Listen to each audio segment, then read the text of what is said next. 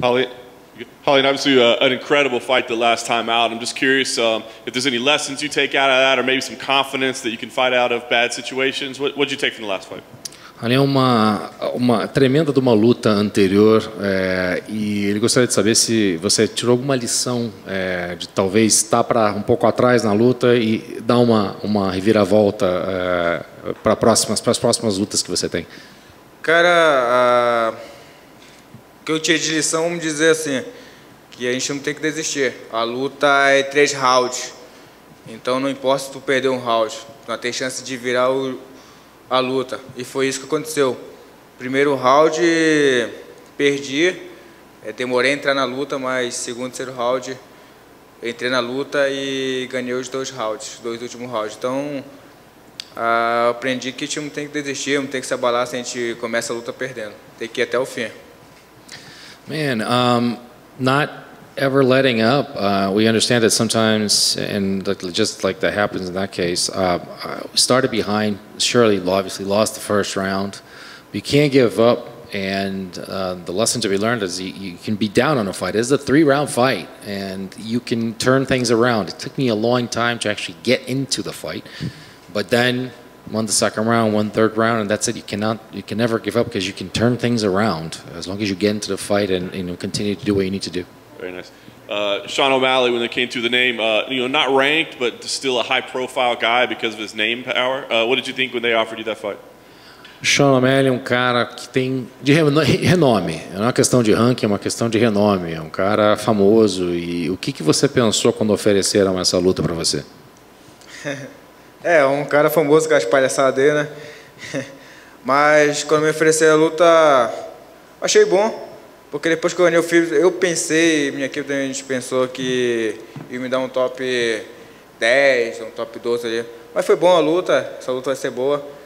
É, é boa essa mídia em cima dele, que com isso eu, eu vou ganhar a luta e depois disso a galera, os fãs dele vão conhecer mais quem é o Raulian Paiva. Então é uma boa luta.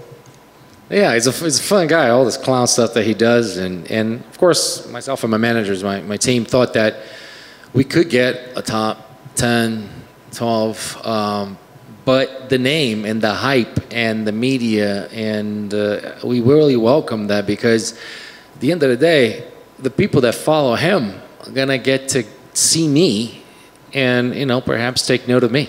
I like that. Um, when you evaluate him as a fighter, as you said, he's got a lot of hype, but do you think he has a lot of skills as well, or is, is, does he get too much attention? quando você avalia ele como lutador. Obviamente que ele tem muito hype, como você falou. Mas em termos de habilidade, você acha que ele realmente é um bom lutador e que ele tem coisas para oferecer? É, sim, dependendo da, do, do, adversário, ele tem algo para oferecer. Mas, com todo respeito, é, para mim eu não vejo tanta ameaça. Mas é um lutador novo, é um garoto novo, tem seu talento. É, tem muita coisa né, para evoluir. Mas ameaça, ameaça eu não vejo ali nele. Então o que eu vejo é que o meu jogo se dá muito bem com o jogo dele. Um, yeah, he's got a lot of skill, and he is. He can be uh, a threat and a good fighter against certain fighters. But I, with all due respect, I don't see a threat because uh, I, I, I think that he has, even though he has the skills I have, he's a, he's a young guy and he's uh, got a lot of energy, but I have more, and I'm my matchup against his is even stronger. And I think I feel more comfortable about the abilities that I have and my skills compared to his. So yes, great fighter, but I do think that uh, that I come out on top of that on that tail of the tape. Win here, uh, four in a row, uh, high profile name, pay per view. I mean, Are we talking top 10? Are we talking top 5? What, what, what comes with a win?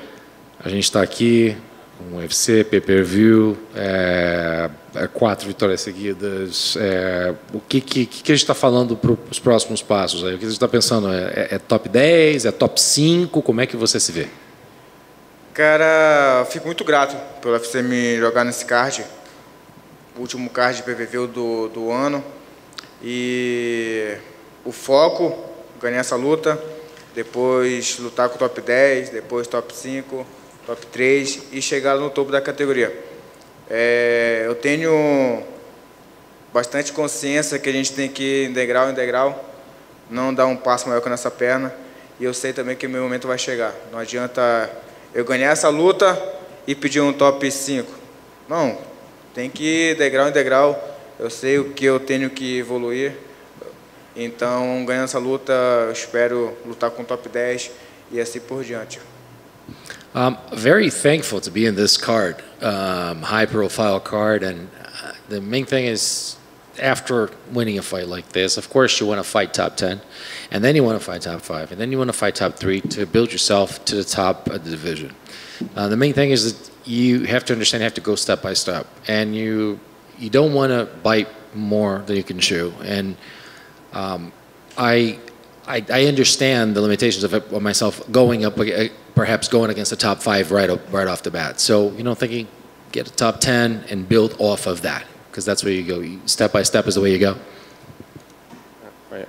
Uh, in Sean's previous fights, he does a lot of taunting. He tries to get his opponents flustered with a lot of uh, antics in there, like against Chris in his last fight. He was pretending to dribble a basketball in the middle of the fight.